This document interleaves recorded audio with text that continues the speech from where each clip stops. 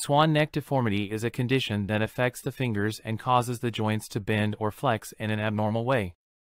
This can make it difficult to move the affected finger normally and can sometimes lead to pain or discomfort. The term swan neck comes from the distinctive shape that the finger takes on. In a swan neck deformity, the base and DIP joint of the finger bend towards the flexion, while the PIP joint of the finger bends hyperextended condition. This causes the finger to look like the neck of a swan.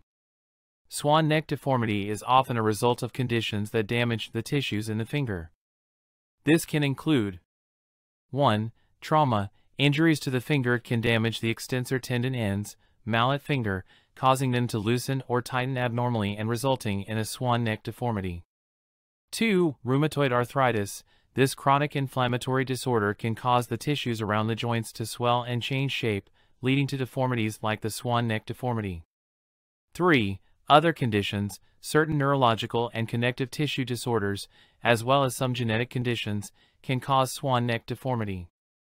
Treatment for swan neck deformity typically involves managing the underlying condition causing it.